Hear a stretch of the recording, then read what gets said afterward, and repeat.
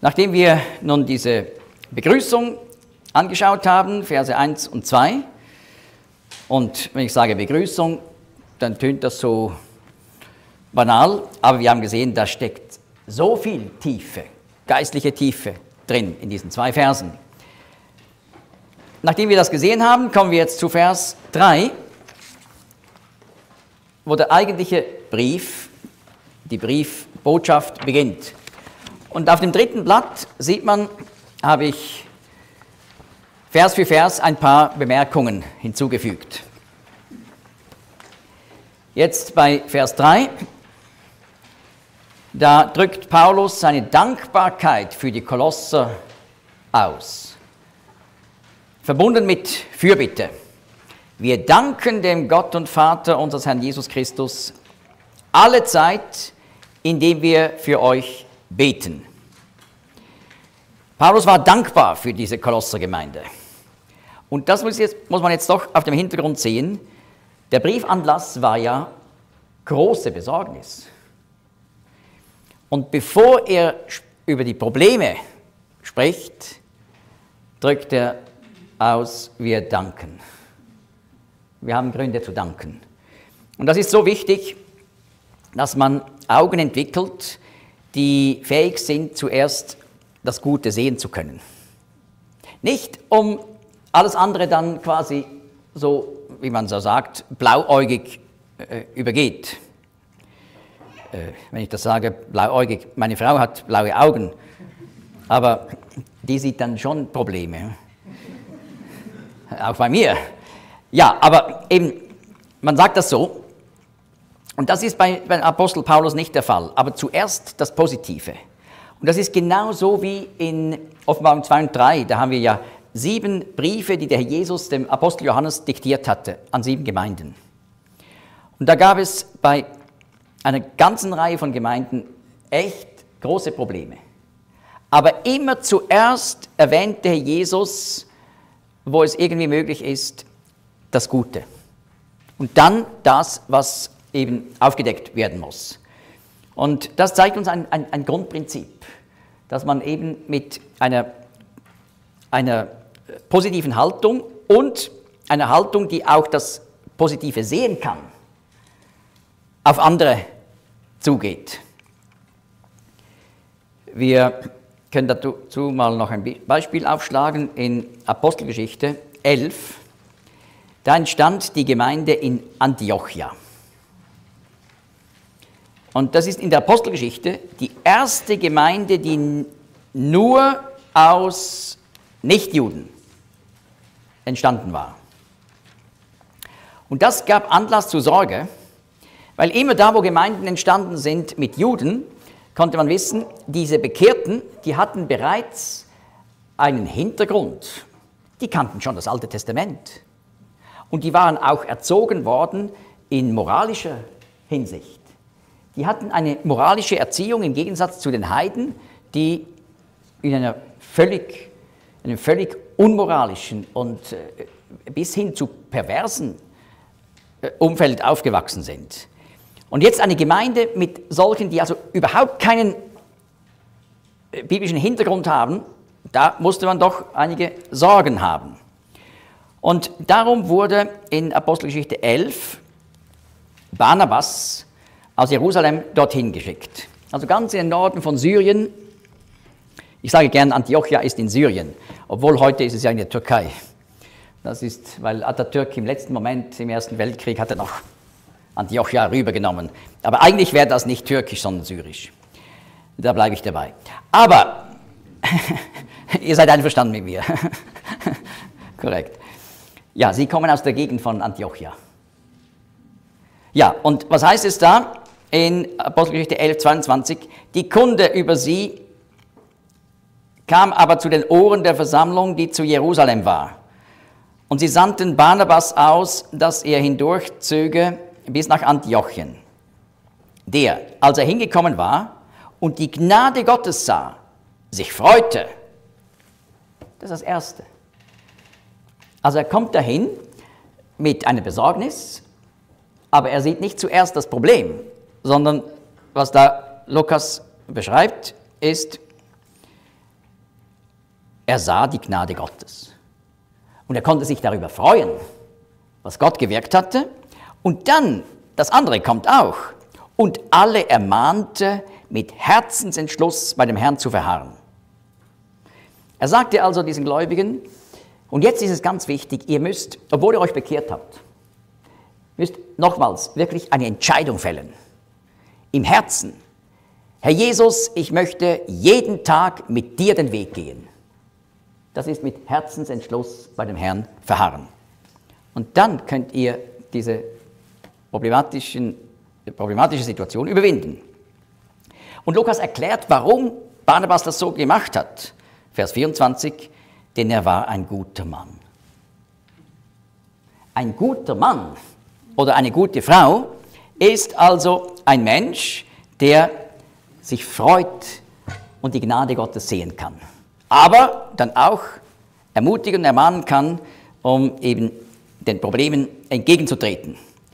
Denn er war ein guter Mann und voll Heiligen Geistes und Glaubens. Das war also bei ihm auffällig. Der Heilige Geist wirkte gewohnheitsmäßig in seinem Leben. Und sein Herz war erfüllt von dem Reichtum des Glaubens. Ja, so ist es bei Paulus.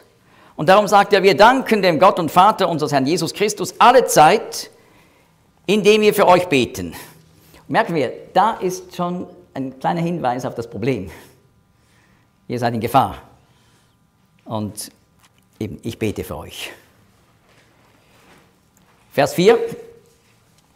Nachdem wir gehört haben von eurem Glauben an Christus Jesus und der Liebe, die ihr zu allen Heiligen habt, wegen der Hoffnung, die für euch aufgehoben ist in den Himmeln.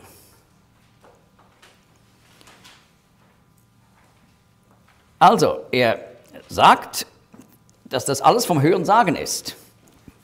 Dass er gehört hat, wie die Situation in Kolossä ist. Und zwar bezüglich Glauben, Liebe, Hoffnung. Merken wir diese drei. Ja, das sind ja die, die drei großen Hauptwörter in 1. Korinther 13. Da, wo die Liebe Gottes so grandios beschrieben wird im praktischen Leben. Dort sagt Paulus, können wir aufschlagen, 1. Korinther 13, Vers 13, nun aber bleibt Glaube, Hoffnung, Liebe. Diese drei. Die größte aber von diesen ist die Liebe. Ja, und man muss darauf achten, man wird immer wieder Stellen finden in den Briefen, wo genau diese drei, drei wunderbaren Nomen Glauben, Liebe, Hoffnung beieinander stehen. Aber schön ist, er sagt nicht nur, wir haben gehört von eurem Glauben, eurer Liebe, eurer Hoffnung, sondern er sagt Glauben an Christus Jesus. Ja, ich meine, viele Leute sagen, ich bin gläubig. Und das war's. Nein, es ist ein Glauben an den Messias, Jesus, an den, der gekommen ist, um all die Verheißungen des Alten Testaments zu erfüllen und um das Heil zu erringen auf Golgatha. Euer Glaube an Christus Jesus. Und dann sagt er nicht nur einfach und die Liebe, sondern und der Liebe, die ihr zu allen Heiligen habt. Und da fällt auf, also nicht nur Liebe zu den gläubigen Kolossern. Das ist das, was eben oft am naheliegendsten ist. Man sieht einfach die in der eigenen Gemeinde. Gut, aber es ist schon mal schön, wenn, wenn gesagt wird, Liebe zu allen in der Gemeinde. Äh, schon mal, schon mal, schon mal etwas erreicht, ja? Aber dieser Blick für den ganzen Leib Christi, der eben alle Erlösten auf der ganzen Welt umfasst, das ist nochmal was anderes. Und das wird hier gelehrt, die ihr zu allen Heiligen habt. Und ich habe gesagt, der Kolosserbrief ist eigentlich ein paralleler Brief zum Epheserbrief. Und es gibt Ganz interessante Parallelen. Und auch gerade im, im Epheserbrief wird das alle Heiligen immer wieder gebracht. Ich zeige schnell. Epheser 1, Vers 15.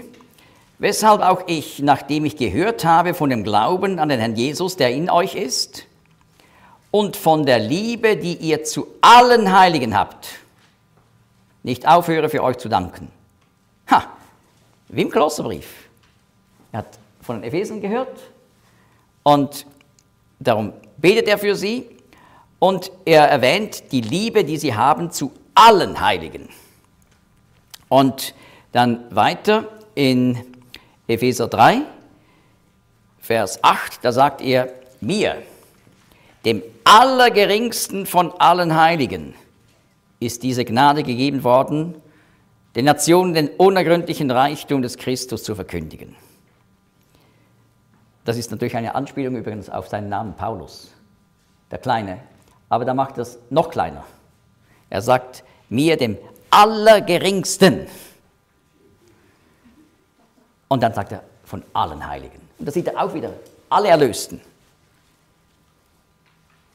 der Gemeinde, nicht nur an einem Ort, allen Heiligen.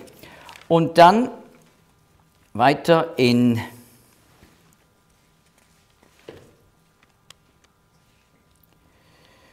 Kapitel 6, nein, schon Kapitel 3 muss es sein. Ähm, ja, 3, äh, Vers 18. Damit ihr völlig zu erfassen vermögt, mit allen Heiligen, welches die Breite und Länge und Höhe und Tiefe sei. Und zu erkennen die die Erkenntnis übersteigende Liebe des Christus, damit ihr erfüllt sein mögt zu der ganzen Fülle Gottes. Aber auch da, erkennen, nicht nur mit den Gläubigen der eigenen örtlichen Gemeinde, sondern mit allen Heiligen auf der ganzen Erde. Sollen sie zu, dieser, zu, dieser, zu diesem Durchblick kommen, wo man den Ratschluss Gottes sieht in seiner Breite, Länge, Höhe und Tiefe. Alle Heiligen. Und dann noch Kapitel 6, Vers 18. Zu aller Zeit beten mit allem Gebet und Flehen in dem Geist und hierzu wachend in allem Anhalten und Flehen für alle Heiligen und für mich damit mir Rede verliehen werde im Auftun meines Mundes, um mit Freimütigkeit kundzutun das Geheimnis des Evangeliums. Ja, also auch da erwähnt er die Wichtigkeit Flehen für alle Gläubigen auf der ganzen Erde.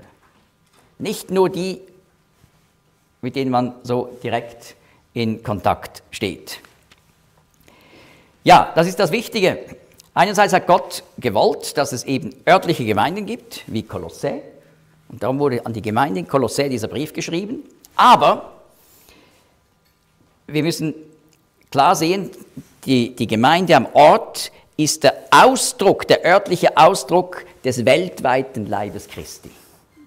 Und interessant, nie wird in der Bibel eine örtliche Gemeinde genannt, ihr seid der Leib Christi. Das wäre auch eine falsche Lehre. Denn der Leib Christi umfasst nicht die Gläubigen an einem Ort, sondern alle Gläubigen auf der ganzen Erde. Das ist ganz wichtig. Da könnte jemand sagen, äh, stimmt nicht. Ja was? Also schlagen wir auf, 1. Korinther 12, da geht es ja gerade um den Leib Christi. Und da sagt Paulus zu den Korinthern in 12, Vers 27.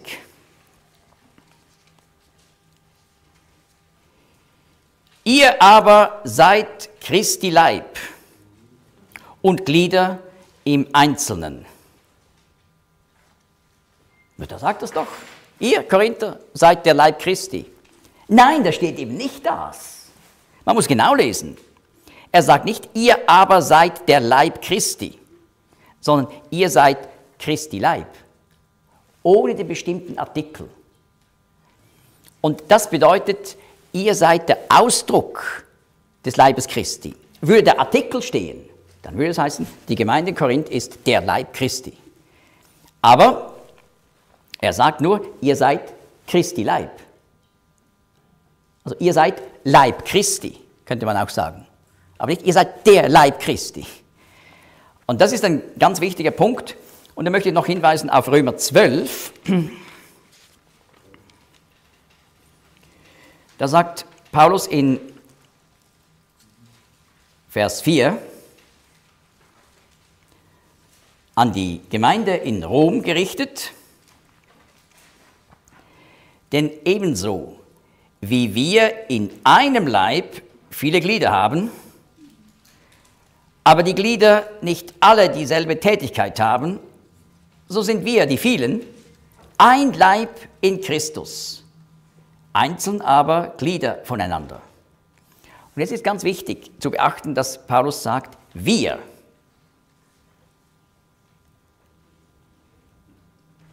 Die vielen sind ein Leib in Christus. Paulus gehörte nicht zur Gemeinde in Rom. Ja, er schrieb als einer von außerhalb. Aber sagt den Römern, wir, ich von außerhalb und ihr, sind ein Leib in Christus. Das macht eben klar, dass der Leib Christi überörtlich ist. Nie örtlich. Aber die örtliche Gemeinde ist der Ausdruck von diesem weltweiten Leib Christi. Aber darum ist es wichtig, eben den Blick zu haben auf den Ort und die Bedürfnisse und Nöte am Ort, wie das im Kolosserbrief geschieht, aber auch den weltweiten Blick für alle wahren Gläubigen. Und das äh, macht eben, dass unsere Haltung nicht sektierisch wird. Wenn wir nur, wir und alle anderen, dann äh, wird das sektierisch. Aber wenn wir den Blick haben für alle Erlösten auf der ganzen Erde, dann haben wir diesen Blick, den der Apostel Paulus hatte. Den die Kolosser hatten. Und er hat ja gehört von ihrer Liebe, die sie zu allen Heiligen haben. Und dann weiter, wegen der Hoffnung, er sagt nicht nur Hoffnung, sondern er sagt Hoffnung, die für euch aufgehoben ist in den Himmeln. Also sie hatten eine himmlische Hoffnung. Und zwar, weil sie zum himmlischen Volk Gottes gehörten. Israel in der Wüste hatte auch eine Hoffnung. Die Hoffnung auf das Land. Das wunderbare Land. Das Land, das von Milch und Honig fließt.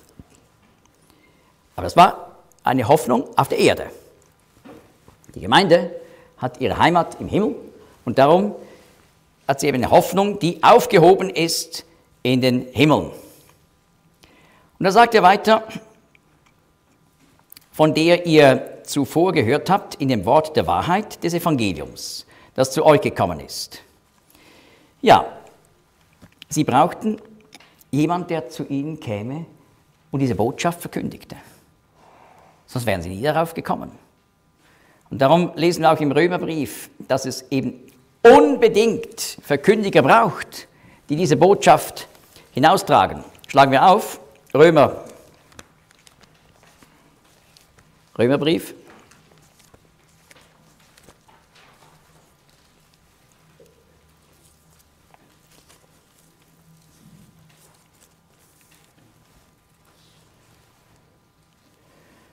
Und zwar Kapitel 10, Vers 14.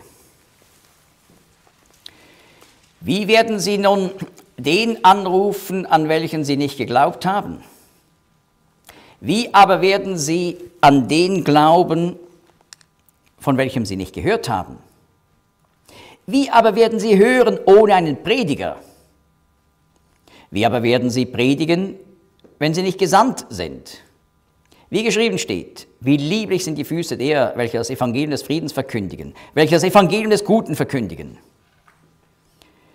Und so weiter. Also da sieht man die Notwendigkeit, dass Menschen hingehen und das Evangelium verkündigen. Und darum konnten sie von dieser Hoffnung im Himmel erfahren. Sonst hätten sie nie etwas gewusst. Und das war eben dieser Epaphras, der da hingekommen ist. Ja, und gehen wir weiter, Vers 6. Und dieses Wort der Wahrheit ist also zu ihnen gekommen, wie es auch in der ganzen Welt fruchtbringend und wachsend ist. Wie auch unter euch, von dem Tag an, da ihr es gehört und die Gnade Gottes in Wahrheit erkannt habt. Hier erklärt der Apostel, dass eben dieses Wunderbare, was in Kolossä geschehen ist. Menschen brechen durch zum Glauben, es entsteht eine Gemeinde, das geschieht nicht nur dort, sondern Gott hat sein Werk weltweit. Und auch das wieder zeigt uns den Blick zu sehen, was Gott weltweit tut. Das ist sehr wichtig, diesen Blick zu behalten. Und er sagt, in der ganzen Welt bringt das Wort Frucht und wächst. Das ist bei Ihnen auch so. Seit eben dieser Zeit, diesem Tag, wo Sie die Gnade Gottes in Wahrheit erkannt haben. Da sind Sie zum Glauben gekommen. Und wir wissen bereits, Vers 7, wer das gemacht hat, so wie ihr gelernt habt von Epaphras, unserem geliebten Mitknecht, der ein treuer Diener des Christus für euch ist, der uns auch eure Liebe im Geist kundgetan hat.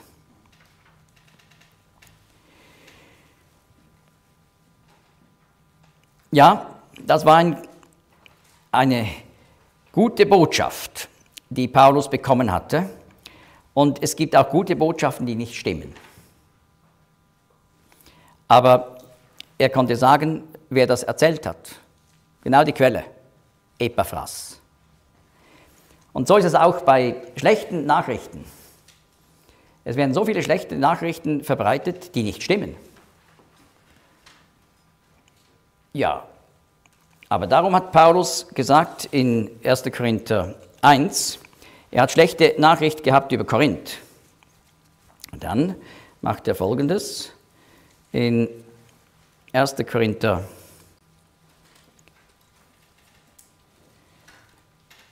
Vers 11. Denn es ist mir von euch kund geworden, meine Brüder, durch die Hausgenossen der Chloe, dass Streitigkeiten unter euch sind. Ich sage aber dieses, dass an jeder von euch sagt, ich bin des Paulus, ich aber des Apollos, ich aber des Kephas, ich aber Christi. Schlechte Nachricht über sie, aber er sagt, woher die Quelle ist. Die Hausgenossen der Chloe haben mir das gesagt. Also, die Korinther hätten sofort die Möglichkeit gehabt, was? Da, da wird solch, solches Zeugs über uns berichtet, dabei haben wir uns so lieb in der Gemeinde. Und wir haben da nicht vier Parteijungen, das stimmt überhaupt nicht. Ja, also jetzt gehen wir mal zu diesen Hausgenossen der Chloe. Ja, das wäre die Konsequenz. Aber dadurch, dass er durchsichtig die Quelle nennt, kann man die Sachen korrigieren. Und das Schlimme ist, da werden Dinge verbreitet. Wer hat das gesagt? Hm, was sag nicht. Ja, ja. Nein, weiß auch nicht vorher. Aber es wird so gesagt. Wie? Das geht gar nicht. So funktioniert Verleumdung. Und was ist das griechische Wort für Verleumder? Also ich frage etwas, was, was garantiert viele wissen.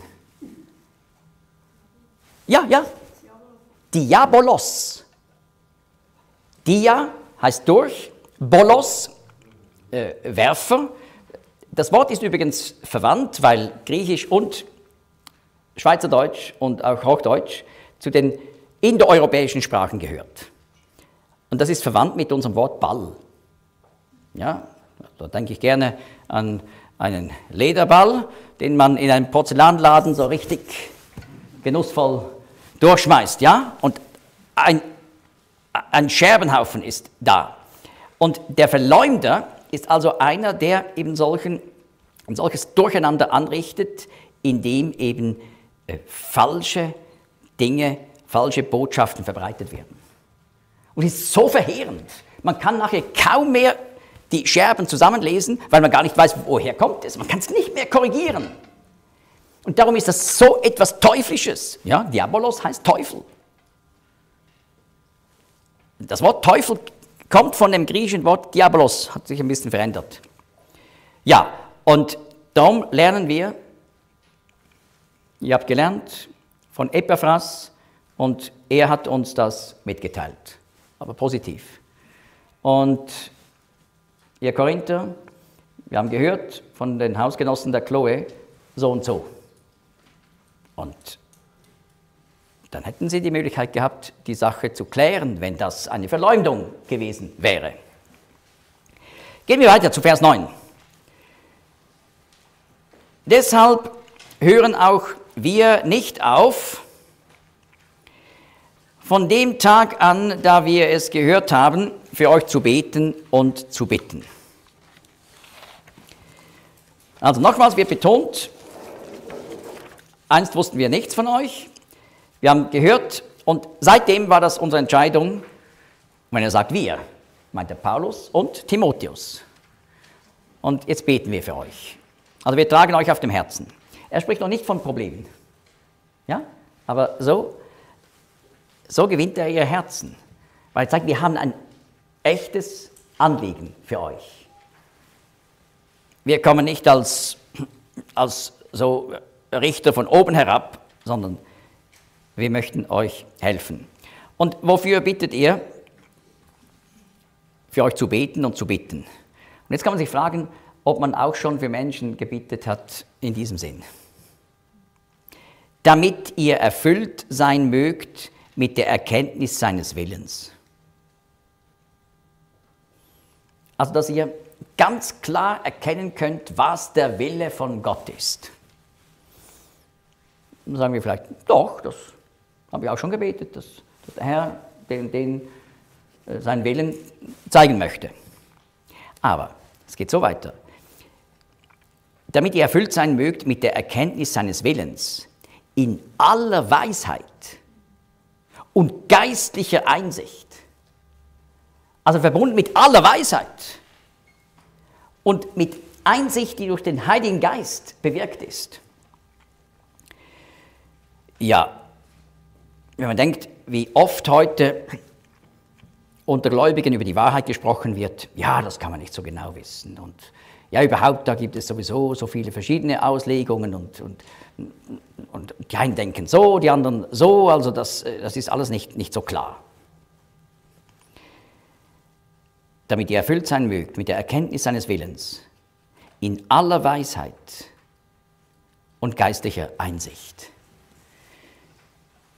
Ja, und wenn man noch in Kapitel 2 schaut, dort sagt Paulus, dass er eben um sie kämpft mit dem Ziel, Vers 2, damit ihre Herzen getröstet werden, vereinigt in Liebe, und jetzt kommt's, und zu allem Reichtum der vollen Gewissheit des Verständnisses.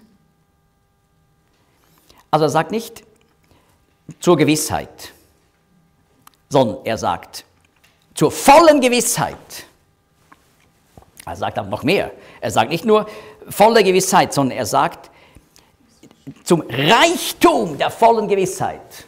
Aber er sagt nicht nur das, sondern er sagt zu allem Reichtum der vollen Gewissheit des Verständnisses. Also wie man das verstehen muss. Pah, das ist aber völlig anders. Also wie das so üblicherweise gesehen wird, ja, das ist nicht so klar, man, man, kann ja nicht behaupten, jetzt wüsste man, würde man das wissen, aber hm, das steht hier ganz anders. Zu allem Reichtum der vollen Gewissheit des Verständnisses. Und dann zur Erkenntnis des Geheimnisses Gottes, in dem verborgen sind alle Schätze der Weisheit und Erkenntnis. Und über dieses Geheimnis Gottes geht es dann im Weiteren auch im Kolosserbrief. Da sind alle Schätze der Weisheit verborgen. Und nun sagt also Paulus, er betet nicht nur, dass sie die Erkenntnis des Willens Gottes bekommen, sondern dass es verbunden ist mit aller Weisheit und geistlicher Einsicht. Aber da sagt einer, aber Wissen macht stolz. Das ist nicht gut. Viel Wissen macht stolz. Und viel Bibelerkenntnis macht stolz in dem Fall. Nun, in 1. Korinther 8 lesen wir tatsächlich, dort geht es um ein bestimmtes Thema, nämlich Götzenopfer. Und äh, dann sagt Paulus in Kapitel 8, Vers 1, ich lese den Zusammenhang, was aber die Götzenopfer betrifft, so wissen wir, denn wir alle haben Erkenntnis. Die Erkenntnis bläht auf, die Liebe aber erbaut. Boah, da haben wir es. Erkenntnis bläht auf. Was tut Paulus? Er bittet um volle Erkenntnis bei den Kolossern, aber die werden wie ein Frosch, der sich aufbläst, ja? Ja, wir müssen ein bisschen weiterlesen. Dann sagt der Apostel, wenn jemand meint, etwas erkannt zu haben, so hat er noch nicht erkannt, wie man erkennen soll. Wenn aber jemand Gott liebt, der ist von ihm erkannt. Nun macht also klar, es gibt die richtige Art der Erkenntnis und die falsche. Und da kann jemand erkennen, aber nicht, wie man erkennen soll. Und das ist ganz wichtig, es gibt zwei verschiedene Arten von Erkenntnis. Und die eine macht stolz und die andere macht demütig. Und das sehen wir bei Daniel. Daniel war in seinem persönlichen Leben treu. Und er wollte sich nicht mit dem Fleisch und dem Wein äh, in Verbindung mit dem Götzenopfer in Babylon verunreinigen. Und darum hat er sich entschieden, er möchte nur noch Gemüse essen. Daniel 1, Vers 8. Und die Folge ist, wenn man weiterliest in Daniel 1, Gott gab ihm und seinen drei Freunden, die seinem Beispiel folgten, eine ganz besondere Weisheit. Und sie haben die Weisen von Babel übertroffen mit göttlicher Einsicht. Und dann sieht man in Kapitel 2 eine neue Geschichte, wie diese Weisheit diese vier Freunde nicht stolz gemacht hat, sondern als Probleme kamen, haben die zusammen zusammengestanden und Daniel hat das vor Gott gebracht im Gebet. Und dann gab Gott noch mehr Verständnis. Und so sehen wir eine Spirale im Buch Daniel. Daniel erkennt richtig, wie man erkennen soll, und das bringt ihn zur Treue. Und Gott belohnt diese Treue mit Erkenntnis. Und diese Erkenntnis führt ihn zu neuer Treue. Und so geht das weiter, und zwar durch Jahrzehnte hindurch. Denn bis in Kapitel 9, da ist er bereits ein alter Mann, Jahrzehnte später. Und da kommt ein Engel zu ihm und muss ihm die Botschaft Gottes bringen. So wisse denn und verstehe. Daniel 9,25. Und dann kommt diese Offenbarung über die Jahrwochen, wie man berechnen kann, wann der Messias kommt. Immer mehr Erkenntnis, aber Erkenntnis, die ihn demütig gehalten und treu gehalten hat. Das ist die richtige Erkenntnis. Und die meint natürlich Paulus hier. Nicht die, die, die stolz macht. Und ich habe das eindrücklich erlebt, diesen Stolz, gerade bei denen, die stolz sind, dass sie, dass sie viele Dinge nicht wissen. Wie geht das? Die sind stolz, dass sie wissen, welche Auslegungen es dazu gibt. Die können aufzählen zu einem bestimmten Bibeltext. Da gibt es so in der Theologie sechs verschiedene Ansichten und äh, äh, ich würde schon tendieren zu Auslegung 2, aber mit 5 könnte ich durchaus auch leben. Und das ist so, ich würde das nennen, ein evangelikaler Agnostizismus. Agnostiker sind äh, Leute, die sagen, nein, ich bin kein Atheist. Kann man nicht so sagen, aber ich weiß einfach nicht. Man kann nicht wissen. Ja? Und es gibt manche, die können sich richtig sonnen darin. Ich bin Agnostiker. Das wissen wir nicht. Es gibt so dumme Leute, die meinen, man wüsste, dass es Gott gibt. Aber in Wirklichkeit, wenn man ein bisschen studiert, ist das völlig, überhaupt nicht klar. Und der evangelikale Agnostizismus, der sagt, es gibt Leute, die meinen, man wisse, wie man das Kapitel verstehen muss, sagen wir 1. Korinther 11. Dabei gibt es so viele äh, theologische Ansichten dazu, und zwei wäre absolut denkbar, aber fünf geht auch. Es ist alles so unklar. Keine Sicherheit. Ja, aber wenn man demütig ist, kann man, kann man eben auch sagen, ich, ich verstehe das nicht. Okay, ja, natürlich. Man muss natürlich nicht sagen, das ist alles klar, wenn es einem nicht klar ist. Und man sollte eigentlich auch nicht über Dinge predigen, die einem gar nicht klar sind. Da muss man sagen, ja gut, über das Thema predige ich nicht, weil, ich, weil mir ist es nicht klar. Aber das ist doch nicht Demut, wenn man gerade predigt und sagt, ja, man weiß das nicht, was es bedeutet, aber es gibt so viele Ansichten. Ist man stolz auf die verschiedenen Ansichten? Und ich sage eigentlich stolz darüber, dass man weiß, dass es, oder meint zu wissen, dass es gar nicht klar ist. Und das ist so, so ein anderer Geist hier, ja? Dass mit ihr erfüllt sein mögt mit der Erkenntnis seines Willens in aller Weisheit und geistlicher Einsicht. Und das Ziel davon ist, um würdig des Herrn zu wandeln, zu allem Wohlgefallen, in jedem guten Werk fruchtbringend und wachsend durch die Erkenntnis Gottes. Es gibt auch viele, die sagen, ja, Biblisch, Bibelstudium und, und, und so Erkenntnis in der Bibel und Zusammenhänge, das brauchen wir eigentlich gar nicht. Äh, mir hat mal einer gesagt, das brauche ich gar nicht an einer Predigt wenn, wenn ich in, ein, in die Gemeinde komme, dann möchte ich wissen, was ich am Montag zu tun habe. Okay? Das ist schon gut. Die Predigt soll uns ja ausrüsten für den Montag und auch für Dienstag und so weiter. Aber es ist eben so, dass Gott uns seine Pläne und seine Gedanken in seinem Wort aufzeigt und das hilft uns dann eben, den Montag richtig einzuordnen. Versteht man, was ich meine? Dass man eben im Licht, was sind Gottes Gedanken und Pläne mit dieser Welt? Dann werden plötzlich Dinge am Montag, die einen so aufregen können, werden plötzlich im Licht davon Bagatellen. Ja? Und wir haben eine lebendige Hoffnung im Himmel. Der Herr Jesus hat gesagt, ich gehe hin ins Haus des Vaters und werde euch dort eine Wohnung bereiten und dann werde ich wiederkommen und euch zu mir nehmen auf das, wo ich bin, auch ihr seid. Wenn man diese lebendige Hoffnung hat und wie die Thessalonicher, 1. Thessalonicher 1, den Herrn täglich erwartet, dann werden eben Dinge am Montag, die einen so, so ärgern können, werden plötzlich irgendwie im Licht der Ewigkeit im Licht dessen, was uns erwartet, wird das zur Nebensache. Und so hat das eben eine gewaltige Bedeutung für unser praktisches Leben. Und wenn man auch sieht, wie, wie wahrhaftig und glaubwürdig das Wort Gottes ist, das ermutigt uns, das eben auch im Alltag umzusetzen. Und darum sagt der Apostel Paulus, um würdig des Herrn zu wandeln. Also wir brauchen biblische tiefe Erkenntnis um das dann praktisch anzuwenden. Und wenn das aber eben so ist, dass, dass der Kopf nur voll ist und die Füße ganz klein, ja, dann stimmt etwas nicht. Dann stimmt etwas nicht. Und das ist natürlich schon gefährlich. Ich, ich, ich habe nicht so einen großen Kopf. Aber wenn der immer größer würde, immer größer, ja, dann verschiebt sich natürlich der Schwerpunkt in meinem Körper.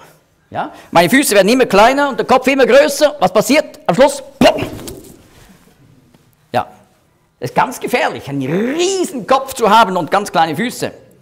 Aber eben, das ist nicht gemeint, sondern es ist die richtige Art des Erkennens, die zusammenhängt, wenn jemand Gott liebt.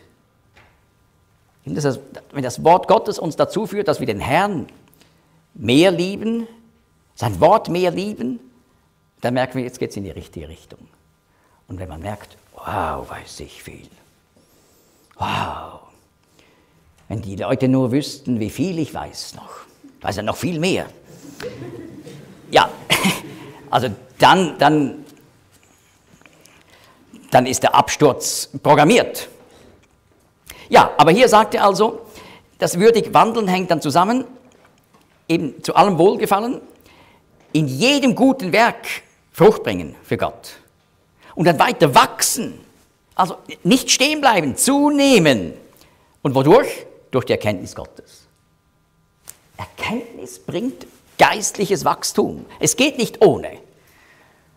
Also die Theorie mit, ja, man muss nicht so Bibel studieren und so, und, und das, das, reicht da in der Predigt zwei Verse am Anfang und dann wird das erklärt, was man am Montag machen muss. Ja, dann ist das gefährlich nahe bei diesen Büchern. Es gibt doch im englischsprachigen Raum, in den Buchhandlungen, so Bücher, ganze Serien, How to. Zum Beispiel How to make friends. Da wird erklärt, wie man das ganz praktisch konkret macht, wie man sich Freunde schafft. Ja? Und da gibt es ganz viele How-to-Bücher mit psychologischen Tipps und Tricks, wie man da im, im Alltag besser zurechtkommt. Und eine Predigt darf natürlich nicht eine psychologische äh, äh, Unterweisung sein, so für, für ein bisschen besseres praktisches Leben sondern es geht darum, dass wir sehen, was der Herr Jesus für uns getan hat am Kreuz und dass wir als Dank dafür unser Leben auch ihm ganz zur Verfügung stellen. Das ist etwas ganz anderes. Wachsen durch die Erkenntnis Gottes, gekräftigt mit aller Kraft nach der Macht seiner Herrlichkeit.